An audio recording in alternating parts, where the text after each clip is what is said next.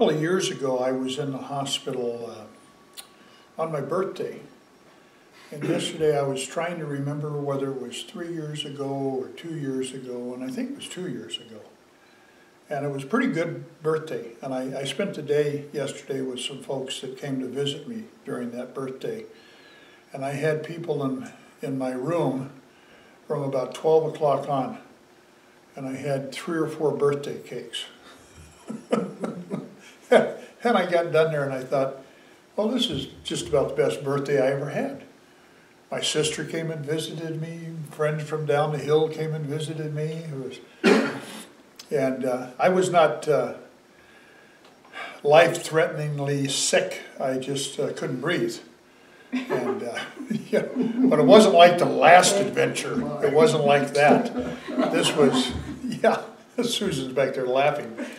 Um, so once I got in there, you know, I, I had, uh, I, I don't know whether I had a touch of the flu or I had, I, th I think I had like an asthma attack and I didn't realize what was happening. And and, you know, it escalated, and the doctor said, okay, we'll put you in the hospital, get you on some oxygen, and that's his main concern.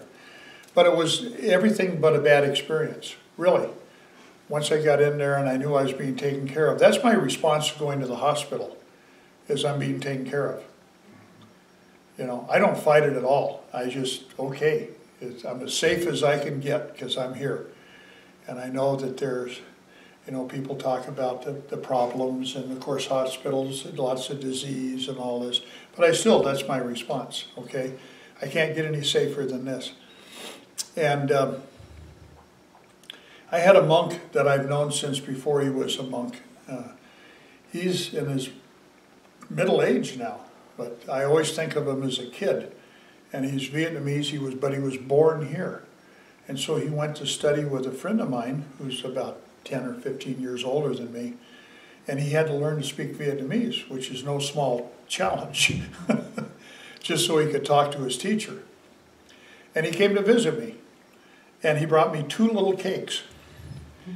And the nurse came in and, and uh, he said to her, and I thought it was so funny, he said to her, and I can't remember why he said this, because I had people going in and out of the room.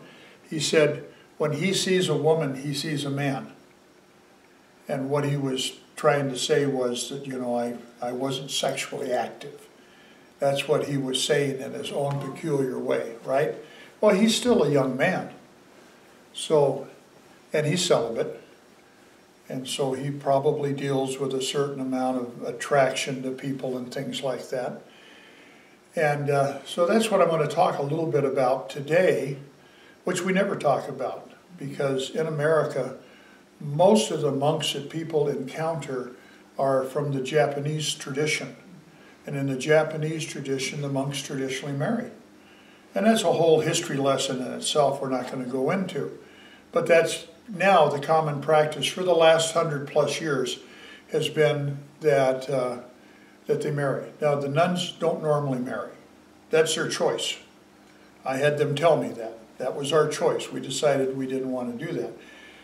But uh, the monks have a, they marry and they have a long-suffering wife. Think of poor Baptist minister's wife in the middle of the deep south. They have nothing but, uh, but love and, and some kids. And uh, so we, we have to wait another hundred years probably to see how this is going to play out in America. But this is what Americans are used to. They're, they're used to Protestant ministers. And so to some of them, this whole notion of celibacy, it just, you know, it's crazy to them, the idea of not having any kind of sexual activity. And that's very Protestant, you know. I mean, what did Luther do? The, the minute he got excommunicated, he married a nun, right? and uh, he solved that problem. So I want to tell two stories. And you've all heard the stories or read the stories before, but I want to use them as kind of a focus. And the first thing that I have to explain to you why monks are celibate. Because in India 2,500 years ago, in India today, if you are going to be a religious seeker, if you are going to leave your home, hopefully, the ideal is with the permission of your wife, because almost everybody has a family. And, uh, but the idea is that your family would be grown. This is the ideal now, and there's always exceptions. But uh, your, your children are adults now and they have their own families, and you've been working on the farm or in the shop or whatever it is that you do for a living.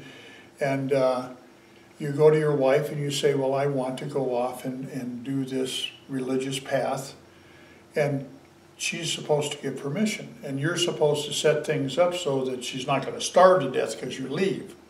Okay, these are all the ideals. And most of the time it plays out like this.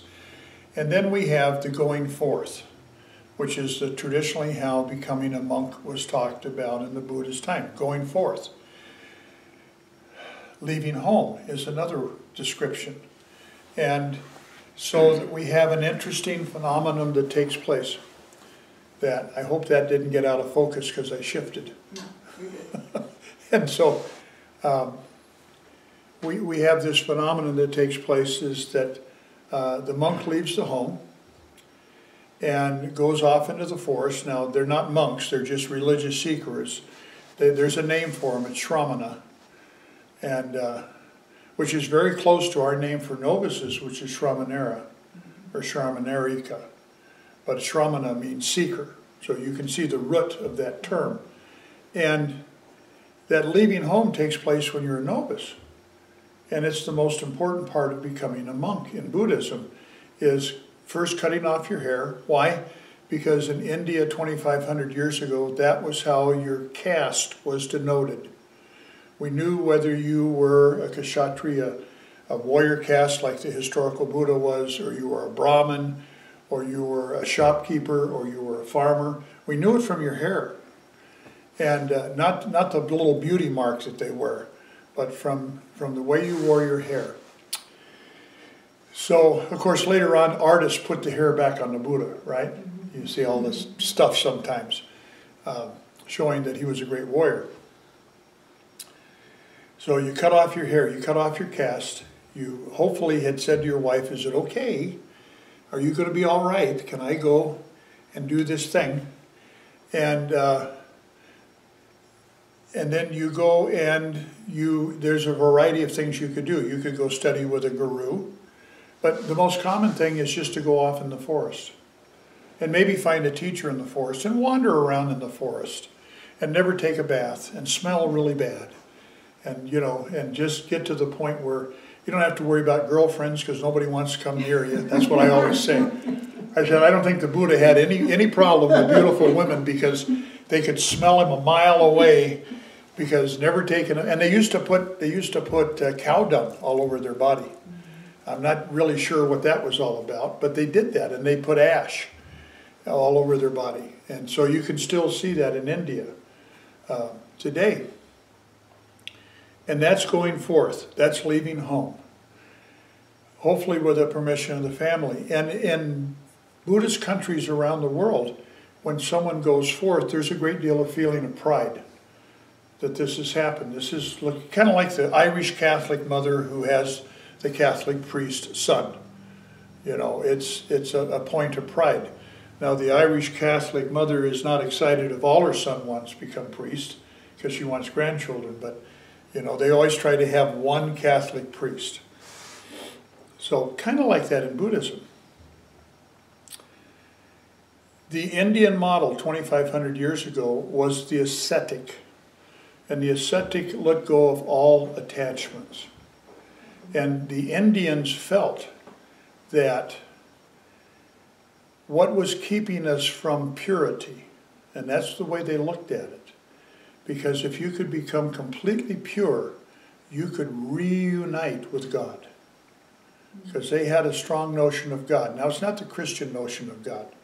The Indians didn't believe in somebody that lived in the sky, that parted the clouds and talked to you. But they believed in the notion of uh, Creator God, which was Brahma. And Brahma dreamed. And this is his dream that we live. I, I think that's much more poetic than somebody one day got bored and decided to create life as we know it on earth. Brahma just dreamed. And of course, the Indians have the notion of cycles, that eventually uh, Brahma will wake up, and we're, we're very worried now about global warming and before global warming. I mean, this is, this is a tension-producing thing, like we can really honestly do anything about. It- You know, it, it's, it's obvious the climate is changing, but it's obvious the climate's been changing since we started paying attention to the climate. Change is the only constant in the universe.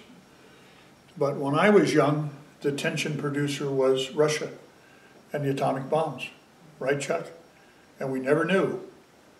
And it, it, at times it really felt like, I remember one time Eisenhower came to talk on the TV, and my dad said, we're going to war with Russia. He sat there going, we're going to war with Russia. My dad had built a bomb shelter in the backyard because we knew, well, the Russians were crazy. They were going to conquer the world with communism. And he was positive, oh, you know, they've sent the, he's, he's gone on TV to tell us that the rocket's coming that's going to blow up New York. And of course, we're going to show all the logic in the world. We're going to blow up Stalingrad or someplace like that, or the Kremlin. So we have this tension. We've always had some kind of tension in our lives about what's going to happen. And back in, in that time, you walked away from that, whatever that tension was. And you went off into the forest because you needed to become pure. Now they've got the idea of karma, that in the past lives, they've got the idea of rebirth. And in past lives, you perhaps did some things that weren't nice, and you carried that karmic imprint on you. And so the way you solved that problem was to be good. Didn't get to go to heaven, but if you were good enough lives, you could reunite with God. Because the Hindu notion, which is the same today, is that everybody is a piece of God. And the only thing that's holding us away from God is our impurity. And our senses, our senses cause the impurities. So I, I look at Susan and I see a pretty girl, which by the way, which is exactly what I see every time I look at Susan. Sometimes she's really pretty and sometimes she looks pretty damn tired. But she's still a pretty girl. Okay? I think of when he came in there and he says, when he's when he sees women, he sees men. I never see men when I see women. I see women.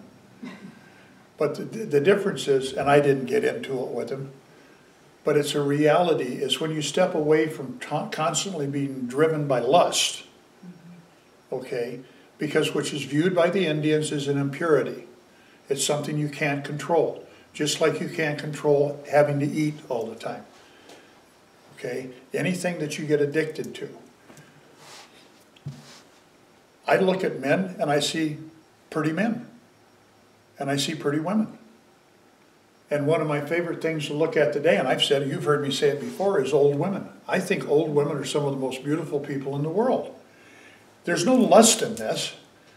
It's just, I'm very visually oriented. I'm a guy. And I see them and I think how incredibly beautiful they are.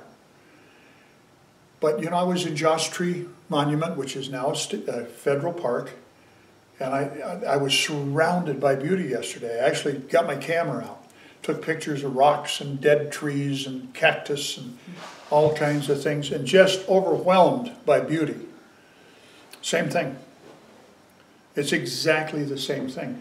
And that kind of response is pure. Because there's no attachment to what's going on. And that's what the, the Hindu ascetics were attempting to accomplish.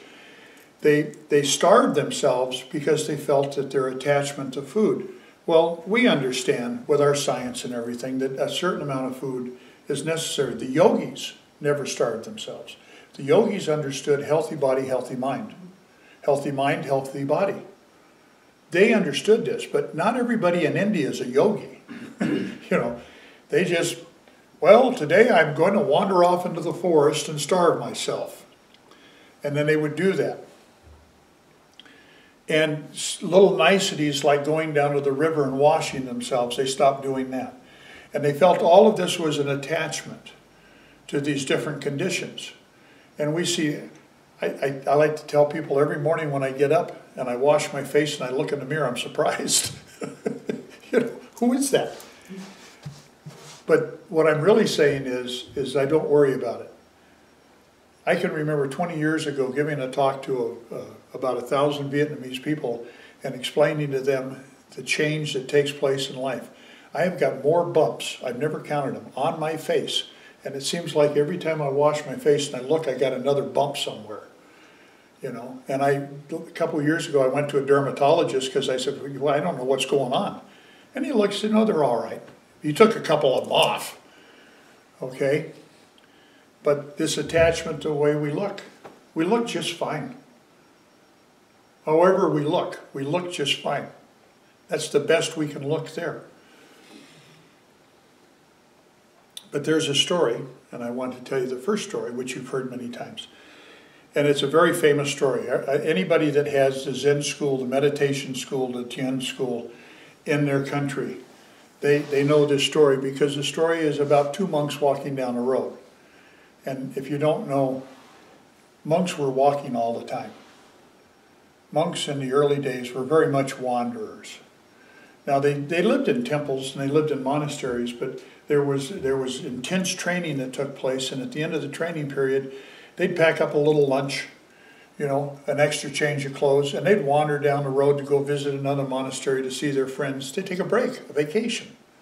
And these two guys were wandering from one town to another, one temple to another, and they came to a stream, and there was a beautiful woman standing there, young, wearing a beautiful dress and she's standing at the edge of this stream, and the older monk says, What you doing? And she says, Well, I need to get across the stream because I'm going to this town, but I don't want to get wet. I'll ruin my shoes and I'll ruin my dress. he said, No problem. I'll carry you across the stream. And he picked her up and he carried her across the stream. And he got to the other side and he put her down and she said, Well, thank you so much. And of course, she knew that monks were not supposed to touch. See, this is a difficulty that Americans have. You're not supposed to touch a monk. It's a 2,500 year old rule. And I always laugh about that because we need to be careful. When the Vietnamese come to visit us, you don't get to touch me. And I have so many people that come here, they'll say, now the Vietnamese are going to watch this and I'm going to hear about it. They'll say, Can I give you a hug? I don't see any Vietnamese. And I'm a hugger. That's my natural, that's my natural state. I'm a toucher and I'm a hugger. And I have to be careful about both of those things. And I'll go, sure. So,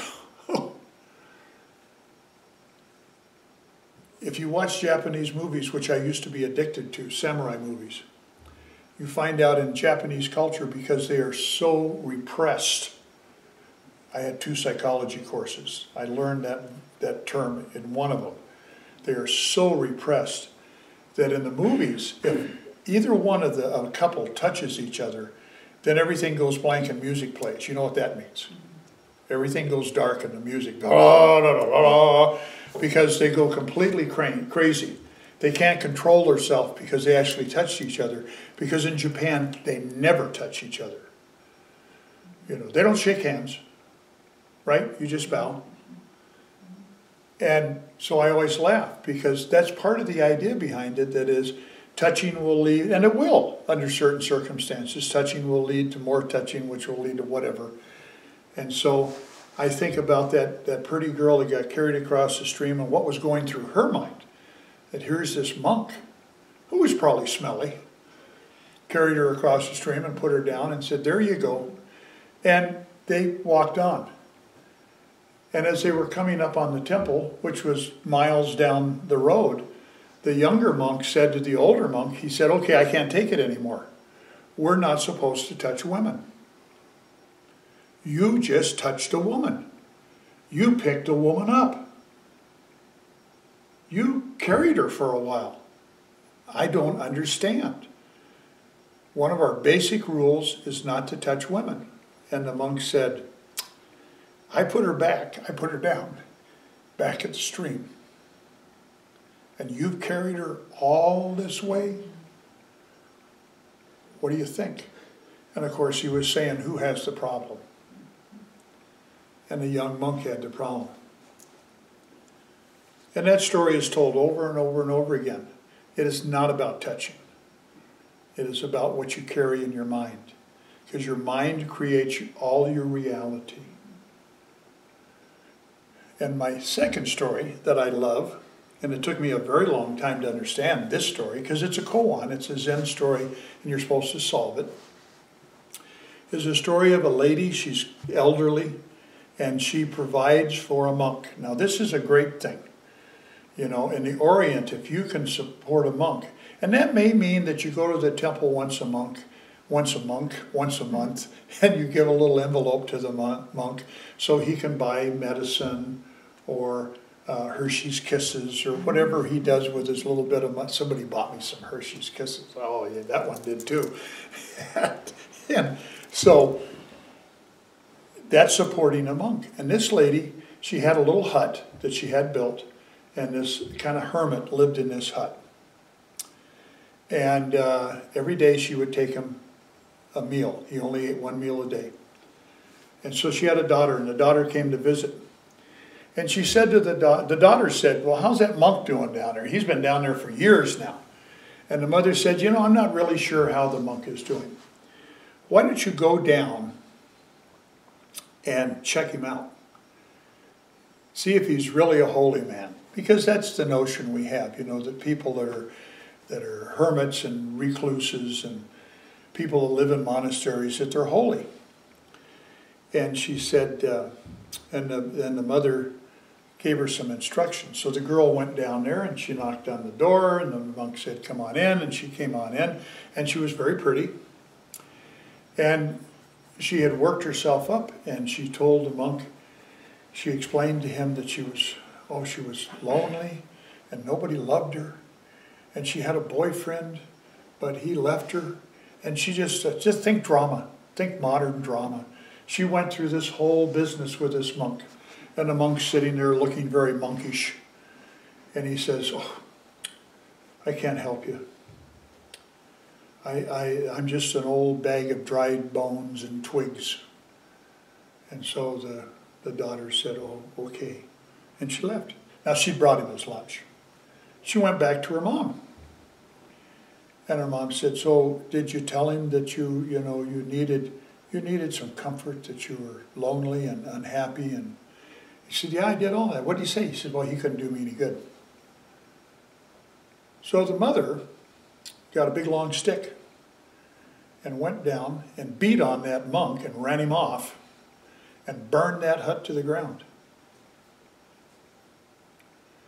And so, what is the point of this story? Well, that monk was so deluded he didn't understand that he could pick her up and carry her a little ways. But he didn't have to carry her in any bad way, that he could give her comfort, that he could hold her. And it didn't have to go any further than that. And that's a great misunderstanding. And uh, I know a lady that we all know very well, Marilyn, and she's teaching second grade right now. And she says those second graders, every day when they leave, they line up to give her a hug. They will not leave the classroom unless they give her a hug. And this is California. And in California, back when I got my teaching credential, I was told, I took a class and the professor said, do you know what you do if you're teaching elementary school and a child falls down in the yard and scuffs up their knees and their elbows and they're bleeding, they come in crying? Says, you know what the first thing you do is? and, and, and people said things like, well, you give them, you know, you give them first aid. That, that was common thing. You give them first aid. And some people said, well, you, you give them a hug. And he says, you put your hands in your pocket. Because you don't want to give any appearance that something's wrong. So basically, don't ever comfort a child. And so this lady that we all know, she told me a couple days ago, she said, those kids, they will not leave at the end of the day unless every one of them comes up and gives her a hug. That's humanity. That monk had lost his way. And he sat in that hut, bitter, and lost his humanity. And that's why she ran him off with a stick and burned the hut to the ground. And the monk who carried the, the girl across the stream never lost sight of the fact that he was a human being and he needed to take care of other human beings.